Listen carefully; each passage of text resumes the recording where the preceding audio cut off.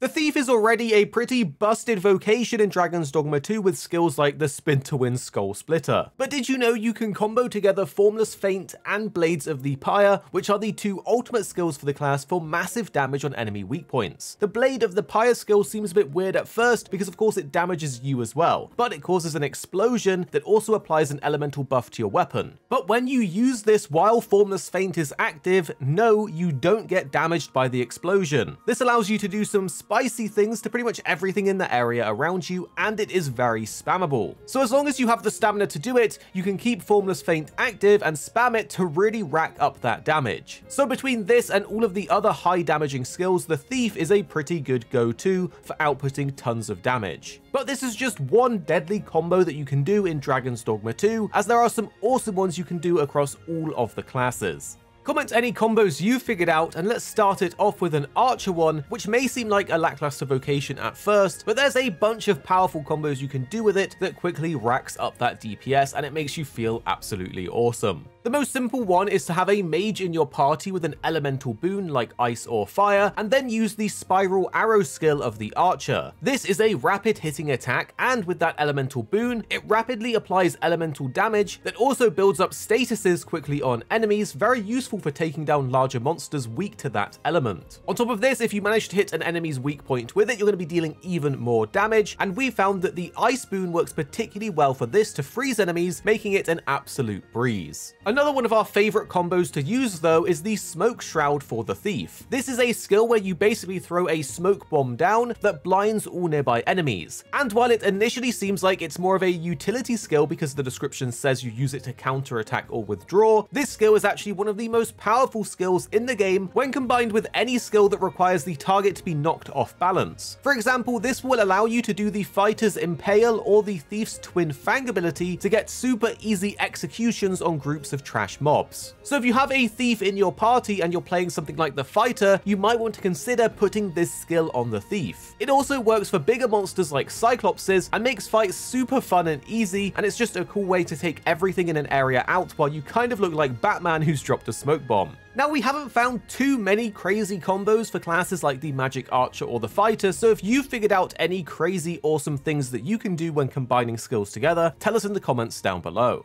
This now leads us onto our next combo, because if you have any skill that consumes a lot of stamina or drains it over time, then that Celestial Paean move of the Mage is a real game changer, as it massively increases the uptime of skills that drain stamina so you can do insane damage. We have mentioned that Formless Feint for the Thief is of course amazing, but it does drain your stamina a lot over time. But when you have a Mage Pawn in your party with Celestial Paean equipped, you can basically have this up infinitely, allowing you to never get hit by enemies because you never have your stamina draining. While both of these skills are active, your stamina just doesn't drain at all, and it does seem like the pawns cast it enough that you never really have to worry too much about it going down. It literally makes any fight easy mode because you can't get hit and you have infinite stamina. And now we have an amazing combo for the Mystic Spearhand. The ultimate Maister's teaching skill is Wild Fury, which is amazing and has you destroy everything with your magic clone, but drains your stamina massively if you use it to its full potential. Well, luckily, there's a pretty insane infinite loop that you can do that makes you invincible, quickly recharge all of your stamina, and thus allow you to loop spam your clone attack for not only massive damage, but also extra style points. If you slot in the Wild Fury ultimate skill, your Mirror Shield skill, as well as the Ravenous Hound skill, this will get the combo rolling. Simply start a fight by using the shield to be invincible, then spam Wild Fury to complete your damaging combo, but also draining most of your stamina. After this, use the Ravenous Hound and spam it on the enemy to juice your stamina back up to maximum quickly. Once your stamina is then full again, activate the shield once more and spam Wild Fury again, making yourself invincible and looping this powerful attack. With this all together, you never have to worry about your stamina too much because you have an easy way to quickly max it back up with that skill, and of course the shield makes you invincible so you never have to worry about getting attacked back, you're just constantly on the offensive. Of course, the previously mentioned Celestial Paean move from the Mage also gives you near infinite stamina, so this allows you to continuously spam Wild Fury too.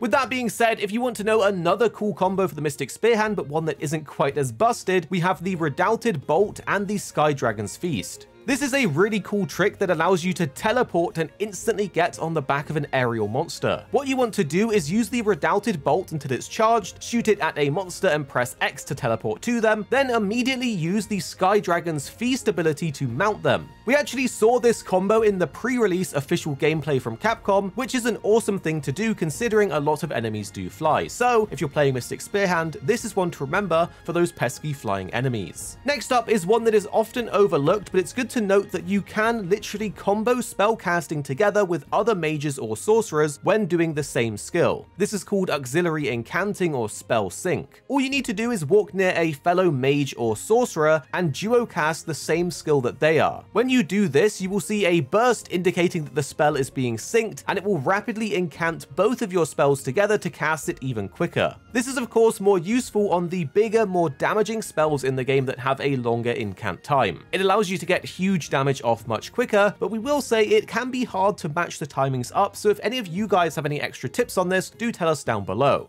If you want to further speed up the incant time of your spells, you should grab the Ring of Recitation, which greatly reduces incant time by around 15 to 20%. And you can get this by going to the Tomb of Jenua in Battahl and breaking down the hidden wall inside the tomb to reveal the chest. Next up, we're going back to the Archer for another combo that, while it seems basic, is one you definitely should know about, and it's the Tarring combo. All you need to do for this one is have a tar arrow on your character and use the skill that allows you to shoot it on enemies. When you then hit the arrow that's embedded in them, it will cover them in tar, which doesn't do any damage by itself. But if you then set the enemy ablaze by any source of fire, you will see health bars falling off the monster and have them struggling to recover from this horrible fire that has now enveloped them. A really great way to then proc the fire is to use the exploding shot, which means you can rapidly repeat this combo by shooting the tarring arrow at them, then shooting the exploding shot at them to both trigger the tar, set them on fire, and do a massive damaging explosion. Both of these things together don't even use much stamina, so as long as you have the resources to use these arrows, you can do this as much as possible, and it's super effective against enemies that are weak to fire like griffins. Next up is a combo that doesn't focus on just dealing tons of damage, but will make you a better warrior, and it's the fact that you can use the Barge class ability to cancel out of attacks, which is very useful when an enemy is too far away and you need to reposition. You can also use this to reduce the end lag of animations, which is extra cool for more advanced players out there when trying to min-max their gameplay. But if you've come over from Monster Hunter and you're a great sword player, you will be used to doing this already, so make sure to make the use of your Barge skill on warriors. There's there's actually another move that you can benefit from by cancelling out of the animation, and this will then increase your overall DPS. And you can actually do this on the Blaze Fang arrow of the Magick Archer. What you need to do is shoot the arrow and then use the cancel or sheath button. It's actually super easy to do and allows you to then shoot another arrow while the first one is traveling.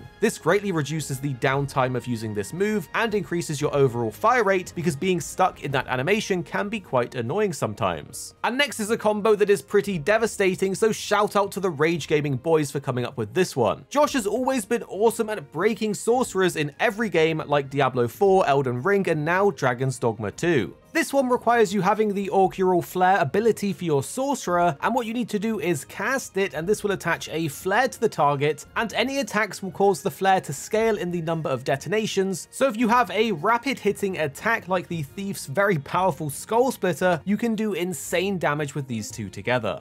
So there you have it, a bunch of combos you need to try out in Dragon's Dogma 2. Share your combos down below so we can all learn together, and of course, subscribe because we'll have more Dragon's Dogma 2 coming your way very soon.